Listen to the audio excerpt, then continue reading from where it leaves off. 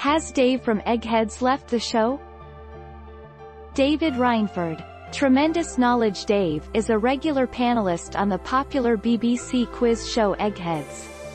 He was also a contestant on Are You an Egghead? and in 2012 when CJ de Mooi left the show he became one of the regular Eggheads in his place.